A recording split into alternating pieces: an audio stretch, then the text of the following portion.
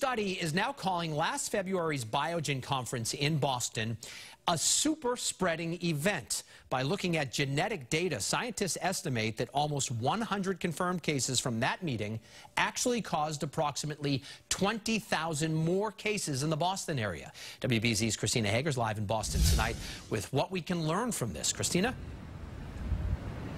Well, David, we can learn a lot about how quickly this virus can spread unchecked. Remember, this happened back before we really knew much about coronavirus or the importance of masks and social distancing.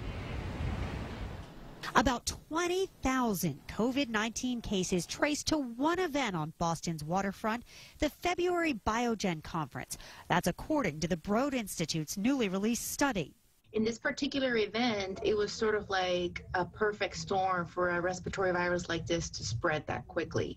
The study shows it very quickly moved from Boston to Virginia, North Carolina, Texas, Michigan, and even Australia.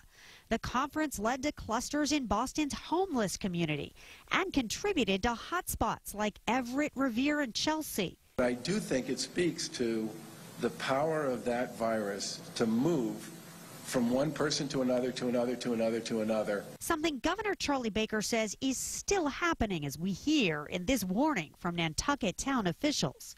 Two recent COVID 19 cases on Nantucket have been connected to a beach party. In a statement, Biogen executives said February 2020 was nearly half a year ago and was a period when general knowledge about the coronavirus was limited. We never would have knowingly put anyone at risk. It can be used as an example for going forward with school openings and colleges, uh, universities.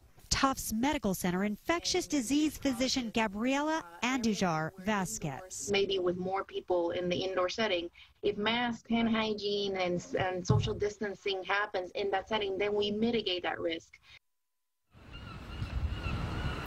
By the way, Biogen employees themselves helped researchers with this study. The company saying it is proud to have collaborated in the effort to overcome COVID-19. In Boston, Christina Hager, WBZ News. Christina, thank you.